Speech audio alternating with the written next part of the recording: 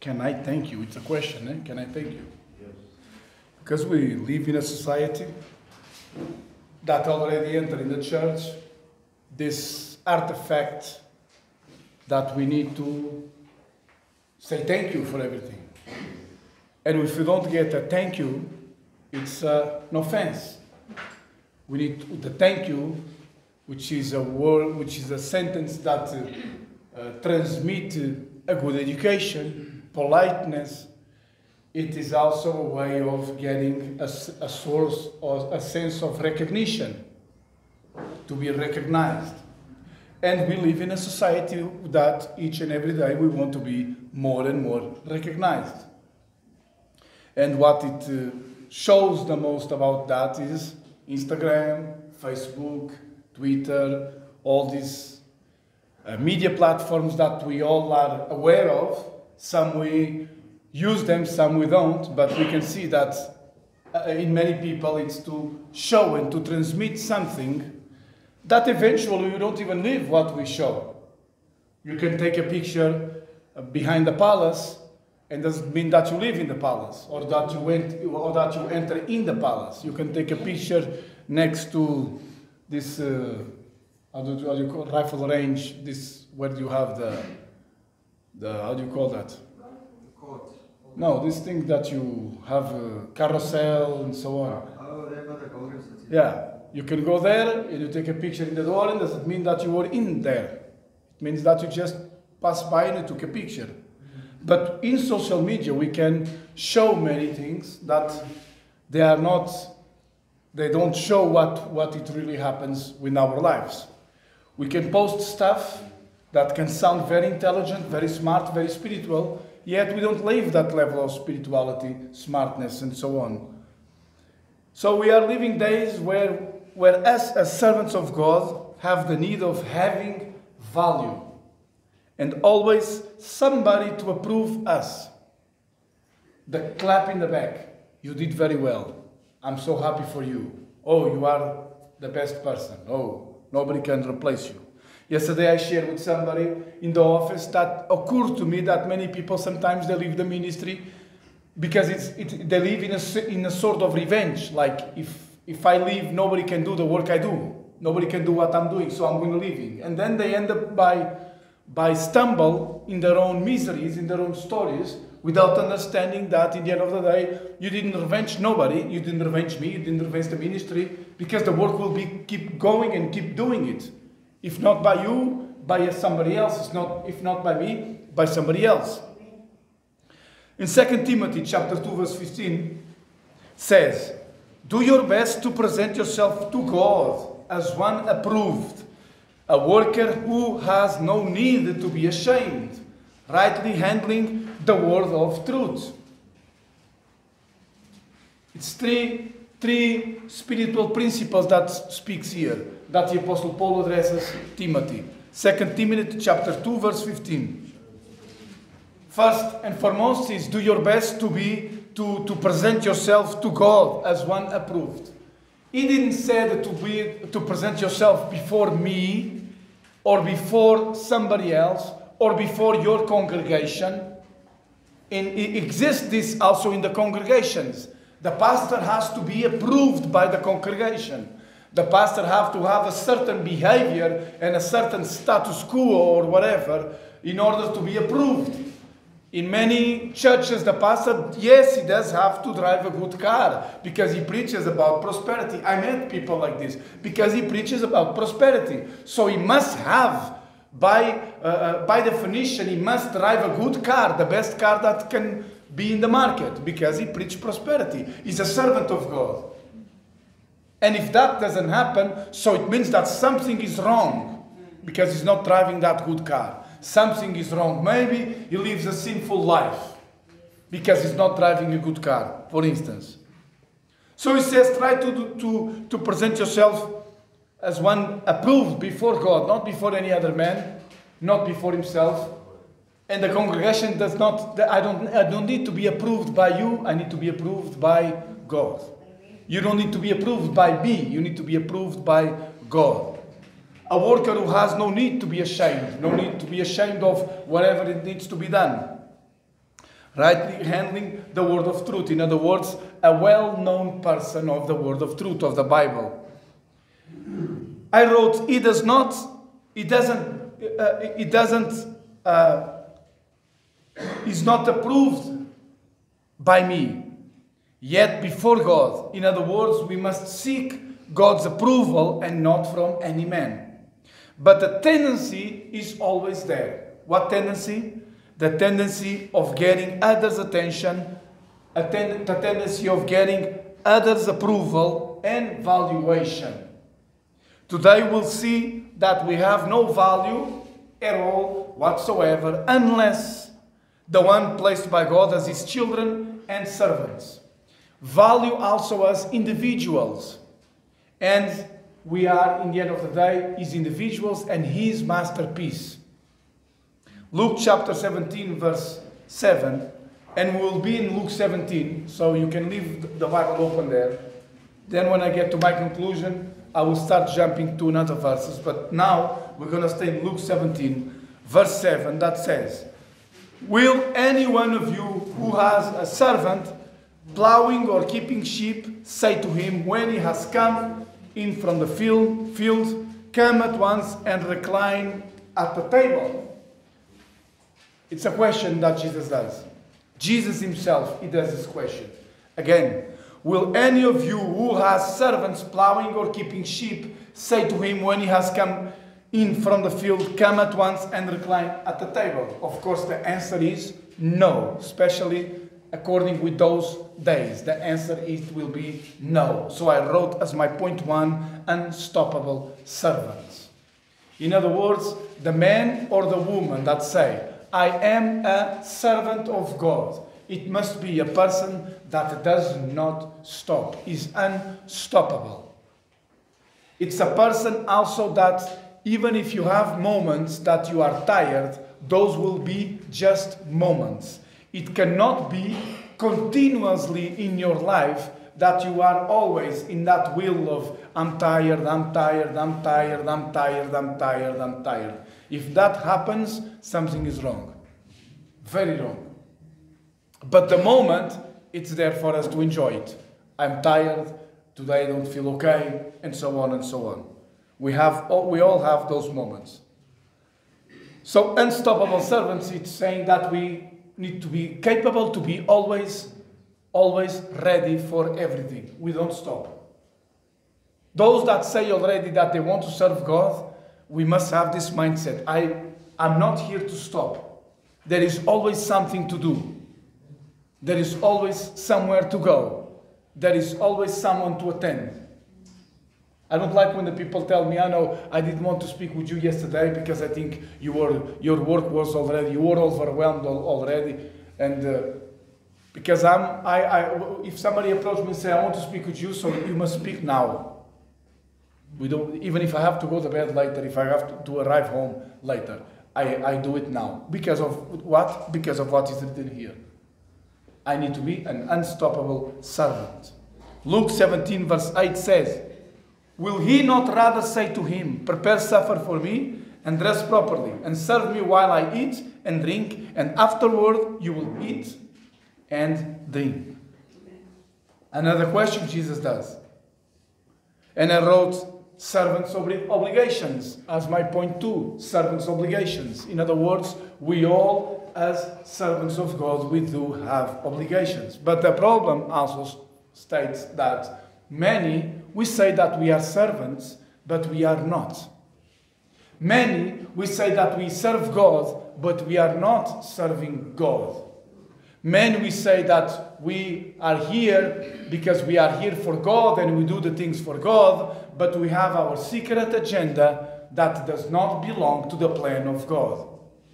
But it's very easy for us to disguise as men of God, as women of God, and pretend to be what we are not. And at the minute that somebody asks you to do something that is over your schedule, over your agenda, over and over and over, simply we are no longer ready to fulfill nothing. But we do have obligations as servants. Jesus, you will see in the end that Jesus is really comparing this servant that comes from plowing in the field, that does not sit with the master. No, he still has stuff to do.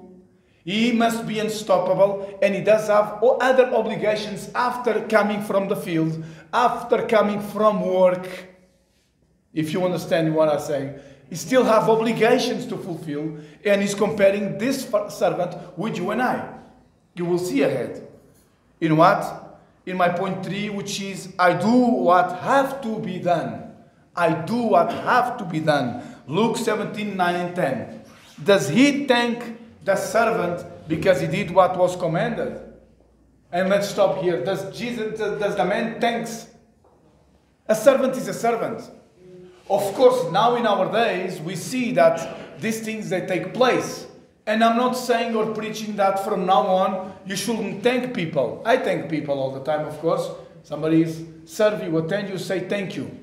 But for in the reality that Jesus was living in those days, wasn't no need of thankfulness. But then because the Bible is eternal and the Bible is always up to date, doesn't, you don't need an application in your phone to, to, up, to update the, the Bible in order to be to, to, to fit in the context of your days. But the Bible, in other words, written as was written, it will always fit in the context of your days. It's not that we have to try to fit our days in, in, in, and with the context of that our days to, to that we can serve ourselves and read the Bible, interpret the way we want. It is written and it is, it is written. So this is the, the, the way Jesus showed us how a servant must behave. You don't need to update this and say, you know what, this was in the context of those days, so I think we need to up to date this here and there. We don't need. This is what is at stake. Does the, he thank the servant because he did what was commanded? We know the answer is no. He doesn't thank. Why? Because he did what he have to do. But in the church, this must be put in place. And many times it's put in place. But in the end of the day, it becomes a rock of offense for many because I should receive a, a, a sense of a source, a, a, sort, a sort of honor, a sort of, a sort of, of thankfulness and gratitude, and I'm not receiving that. I wonder if the people are seeing what I've been doing. Can they see the way I'm doing it? So the question remains so who you are doing for? For yourself and your recognition, or you are doing for God? Because when we do for God, we don't need any kind of recognition because we are aware that He is everywhere and He can see what we are doing. But then, in order for Him to reward you, you in order for Him to reward you in public, you, you need in secret to do the things not looking for nobody to for the recognition of nobody. That's why many are not honored by God because you seek the recognition and the honor of men. You seek the reward and the clap in the back of men. So then, if you, if, if, if God says, if you are content with the recognition of your authority or your or a brother or sister, so I think you don't need my recognition. But in, in the end of the day, the recognition or the reward of God, it will come in a shape that you are not expecting. And that is another problem we live. Is that we have a, a, a shape of, of blessing or a shape of recognition that we want to receive that does not correspond to what God has for us. The acceptance, acceptance of God, it, it has to come with the acceptance of everything that God has for us. And we, are, we need to be able, with your spiritual eyes, to recognize what God has for you what, what, are, what have been giving to you, what is giving to you. And when he gives, he gives. He doesn't take it back. But sometimes also he, also, he, he does and gives stuff to us that we don't even recognize that is God's doing. Because we are looking to another level of recognition. And then we, don't, we, we are not able to acknowledge God. Continuing the verse 10, it says, So you also, when you have done all that you were commanded, say, We are unworthy servants, we have only done what was our duty. These are the words of Jesus himself. I, I am unworthy. There is nothing good within me. But I must receive that, that thankfulness, that recognition, that in order for me to feel okay. That came out of my mouth many times. Don't think that I'm preaching something that uh, I'm the best, I'm very good. That came out of my, of my mouth many times. Oh, nobody recognized my work. Oh, nobody see what I've been doing. Oh, this and that. But also come out of my mind, or the work in my mind, also come to destroy those arguments, to destroy those uh, sophismas, which is in the end of the day fake arguments to justify something that it is not biblical looking for a recognition that is not biblical, that will, will, will make me boast instead of making me, keeping me in that level of humbleness. You know, if somebody paints this wall and I come here and I say this is very well, I'm telling you now that all the other walls they won't have the same details as that one because that, the, it, it, comes it, it, it comes to us the high concept of I do it very well. And then we don't put that level of excellence because of it. So sometimes the, the lack of thankfulness that some or recognition that somebody can have towards you, it can result that it improves you more than the improvement you expect from people clapping in your back saying that you are very good. Because it keeps you low, low level and, and doing the stuff with another perspective, pushing yourself to your limit and to a level of excellence that will be recognized by God. But for that, you need to understand that God does recognize what you do. He does. And He does reward you. But can you see the reward? But if you have your little book, pocket book, that the reward has to be like this, like that, with this shape, with this pattern, this color, this, this uh, how it must be my reward. Then you have a problem because God already reward you and you can't see the reward.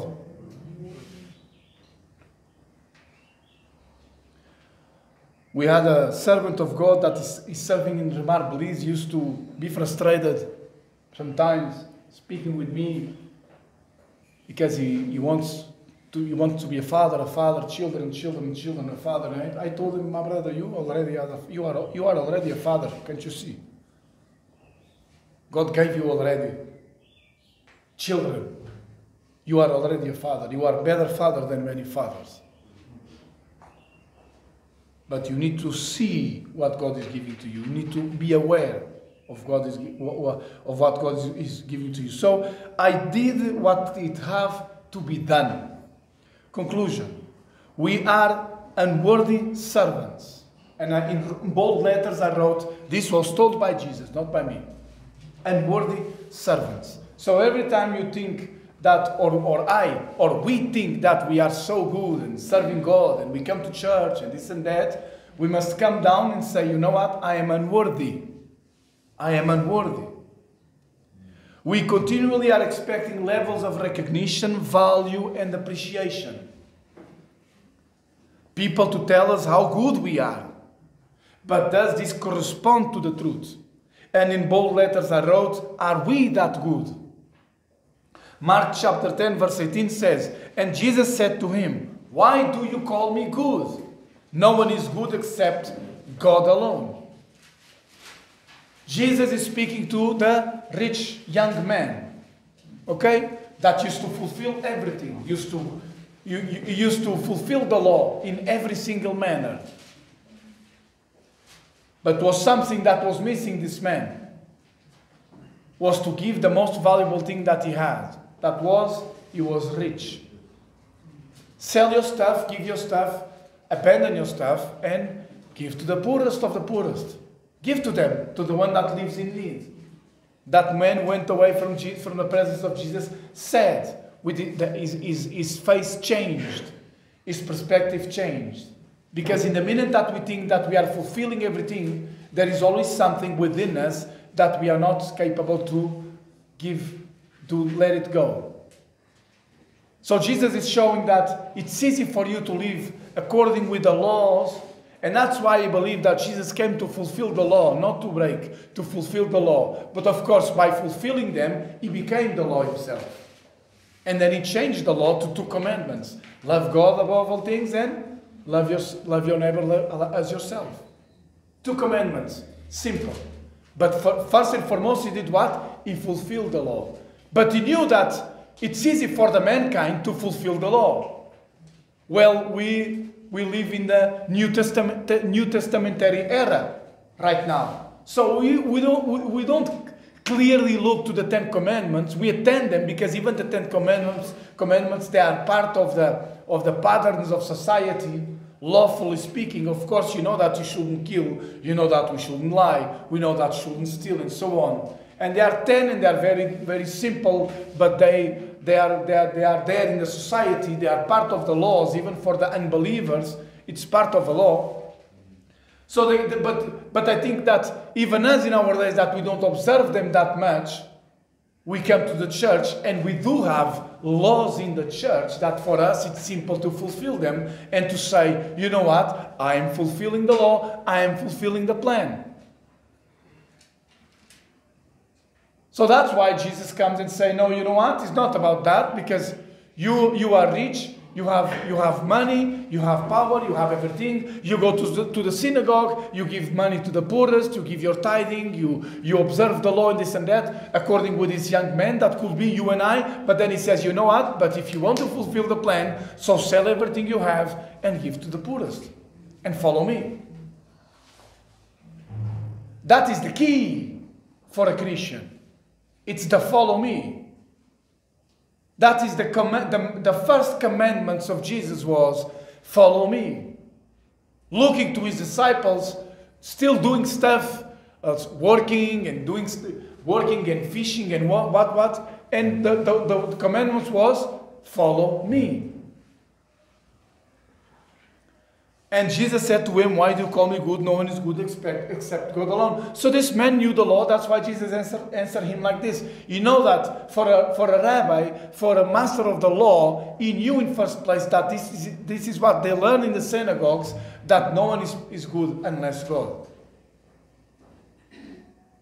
And this is it. There is no goodness in us unless the one we place and establish as society. We establish that level of goodness and madness. We are the ones that establish, establish lev- levels of goodness, madness, evilness. We are the ones that say this is good and this is bad. Can we compare the perception of goodness of God with ours? What is good for you and what is good for God? What was good for this young man? Good for this young man. That's why he approached Jesus. I think he was a bit uh, boasting himself. What was good for him is that, you know what, I go to the synagogue and I fulfill everything that I have to be fulfilled. But there is one question that I have What shall I do to gain eternal life? What, what can I do to be saved? The question that echoes in many Christians, in many men.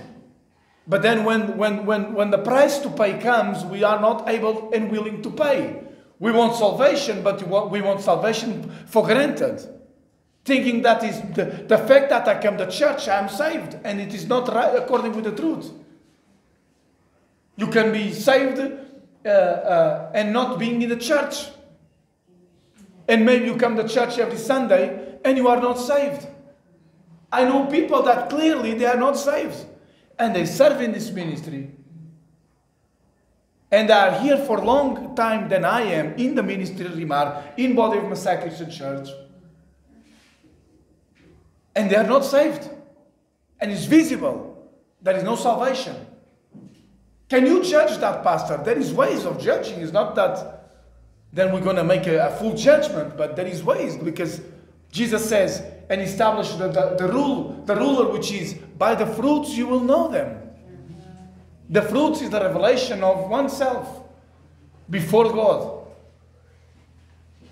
But can we compare the per- perception of goodness of God with ours?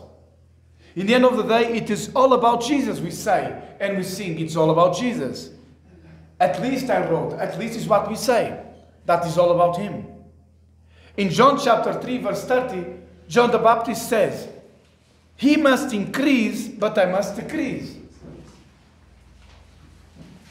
John the Baptist was the man that was preparing the way for the coming of Jesus. Are you and I preparing the way? Because we must prepare the way. He was the one that was preparing the way for the coming of Jesus, the one that he wasn't worthy of, of untie the, the shoes. I don't know the word in English for that, those type of shoes. He was the one that wasn't worthy to untie his shoes. He was waiting for him. There is, he used to say, There is one that is bigger than I. There is one that is capable of doing much things. I'm just preparing the way. I'm a servant. This was his speech. I'm a servant. I'm preparing the way for a bigger one, for a higher one, for somebody with more power, with more authority. So it says, I must increase, he must increase, but I must decrease. In other words, he must be higher than me. Even if he doesn't want that, he will always be higher than me. Like we sang yesterday, you lift me up, you, you lay yourself down. Huh? You remember, Rita's been singing that song. You lay yourself down and you lift us up. I have to decrease. I cannot have a higher concept of myself. Myself as a servant of God, according with the function that I have in the body of Christ. And this is a road speaking about myself. According with the function that I have in the body of Christ, I am done. I, João Luís, I am done. With, with, the, with the supposed servant of God, congregants, religious leaders, missionaries that demand value, that demand recognition, that demand from me or any other people or any other leader or responsible or whatever you want to name in the church demand value. You have to value me. You have to place a price on me. I have to be like a, a, a, diamond. And it's very difficult to preach a word like this from the pulpit because, in the end of the day, if you hear another sermons from another congregations, you, will, you won't hear nothing of this. You will hear that you do have value. And you will hear that you are worthy. And you will hear that you are special in God's eyes. And you will hear all those things that in the end of the day, they are part of the truth, but it's manipulated, manipulated in a way that empower you more than empower God Himself. In a way that you increase more than and Jesus decreases. In a way that you will be more capable than God Himself. When in the end of the day we are not capable of nothing. And our capabilities and strength comes from God. For those that are in rehab, why you think you are so fresh and feeling so strong? You think that is just the food you eat. You are completely wrong. There is a spiritual environment, there is a spiritual strength that is working in your life. Even to those that are not, that still don't believe that much, the, God is working in your life. For those that come and are visitors and, and are congregants that attend the church every Sunday and come and congregate with us, maybe you are gaining a strength that you might think it's from God. It's God that gives you that strength. So capacity, capability, strength, it comes from God, not from, our, from ourselves. He is the one that keeps us moving, keep us going. We cannot do it by ourselves.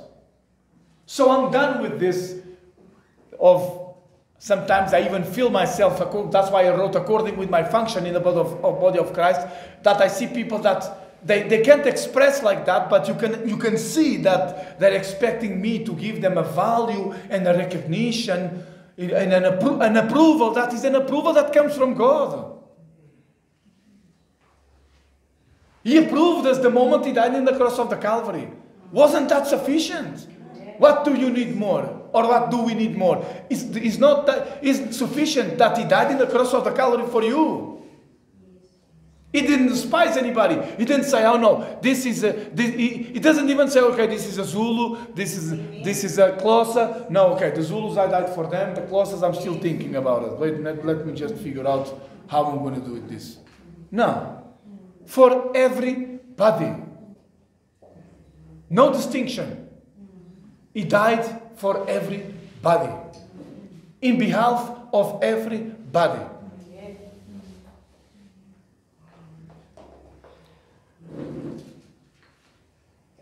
A level of attention that only God can give you. Joshua 1 9, and we all know the scripture of Joshua 1 9. All of us we know. Have I not commanded you?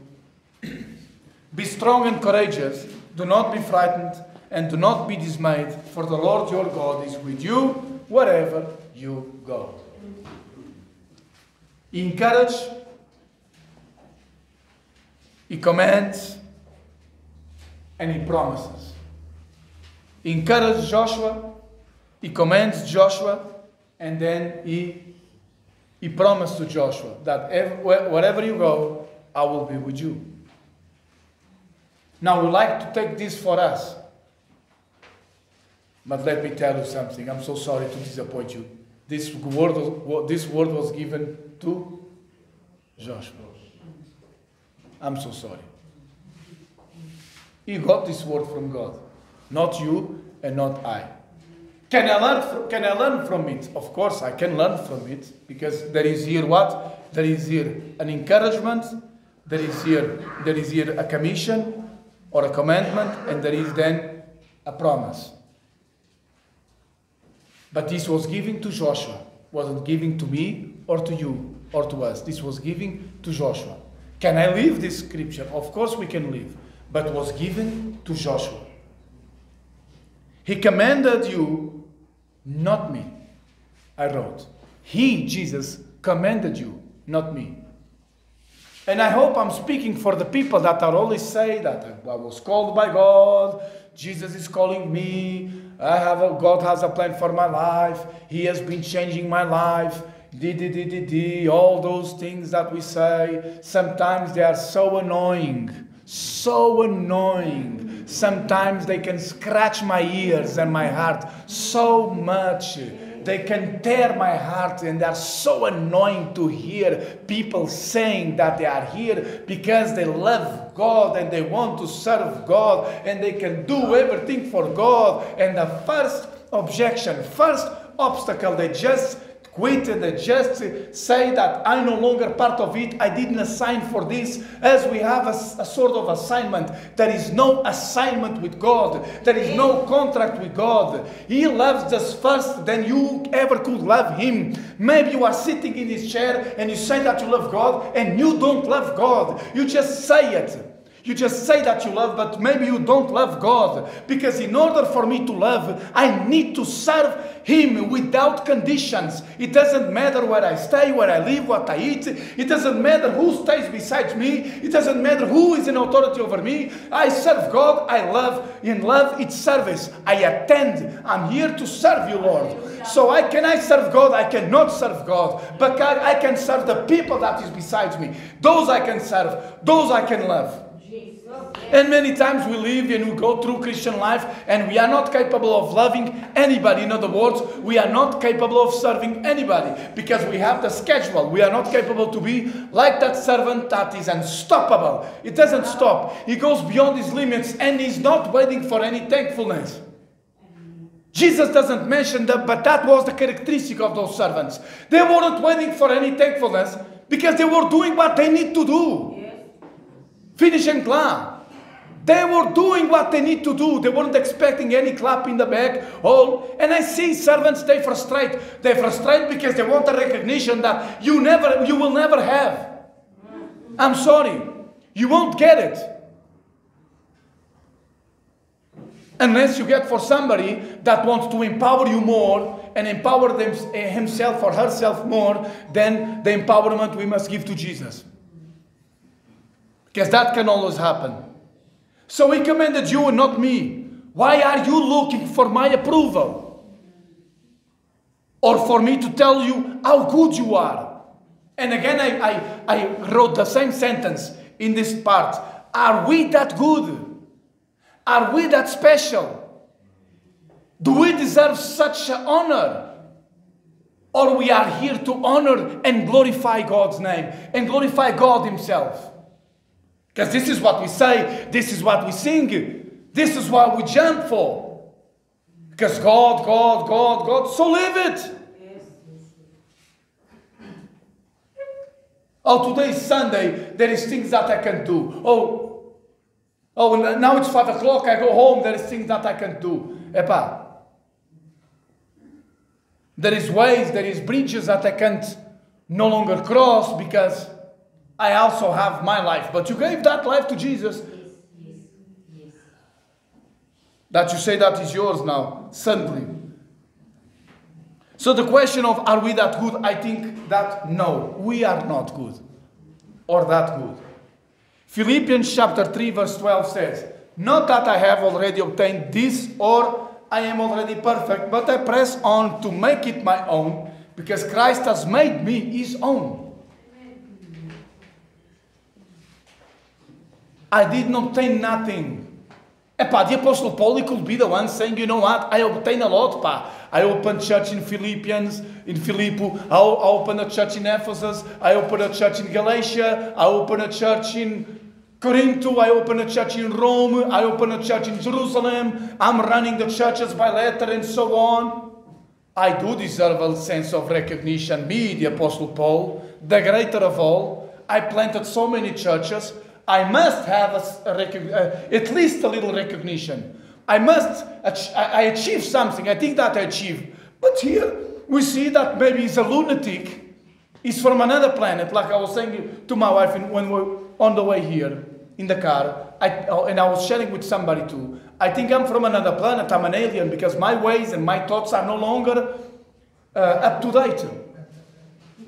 The way I think, the way I live, no, for many, is like yeah, I'm a lunatic. But this one was a lunatic like me. So I'm happy because he was in jail. He was in jail. He did so many things according with the Christianity percep- perception of many servants of God. Who this guy did a lot. Oh, he must, uh, he deserves uh, recognition. But what he says, not that I have already obtained this or that I'm already, I'm already perfect. So, was this guy all right? All right? Or was he aware? I think he was aware. You know why? Because it takes a born again Christian to look to the cross of the Calvary and say, you know what? I did not obtain nothing yet. And I'm not perfect. When you look to the cross, when you give a good look to the cross, not uh, that I put a cross here with Jesus' whole hand uh, uh, hanging there and so on, that you say, oh, no, I, okay, oh, I look to the cross. Now I understand. No, no, no, no. Give a good look to the cross. God Himself in the cross, dying for you, for your sins, for your stories, for your drug abuse, for your alcoholism, for your, so many things that you did, so many things that nobody knows, only you, only I we know. Only God knows because He knows. Don't think that He doesn't. So there is many things that we don't share with nobody and we think that we keep them hide. No, God knows them. He sees them. He knows what you did. We could, I, could, I can start a, a sermon, I know what you did last summer. There is a movie like that. I know what you did last summer. But that sentence should be, should be, should be said by God Himself. I know what you did last summer. Don't hide. I know. So he was, uh, uh for me, he was aware. Aware. And he says, but I press on make it my own because Christ has made me his own. In other words, he want to, he want to make Christ his own. Christ must be mine. But see the awareness. He may, I was him, I was his before. He make, he make me Paul his own before. I didn't want it to be what, what the apostle is saying that before I became a Christian, before the foundations of times, I was I belong to Jesus already. And maybe this is your case of many. You were already before Jesus, before you born or before the plan of Jesus established in your life, you were of his own already. He got you for him. He was, he was in, his, in his ways, he was entangling you to pull you to his plan and to his purpose. So now the Apostle Paul have an awareness. Okay, that, now that I know that I, that I belong to Jesus way before, when I was still in my trespasses, when I was still persecuting Christians, I used to belong to Jesus and I never knew about it. But in the right time, he made me fell from the horse. And then I understood wait a minute. I am his belonging. I belong to him. So now that I know that I belong to him, I want him to belong to me. Does he belong to you? Or you are his possession? Because when, you, when we belong to each other, what does this mean? There is a commitment. You can, I, I can't say that I belong to Rita, Rita belongs to me, but one of us we don't belong. There is no commitment. Or vice versa with the people that are married here in this congregation. So the same is, is this. Jesus, Jesus got Paul before Paul became Paul, when Paul was still Saul. And now Saul, Paul says, you know what? Now I need, he needs to be mine.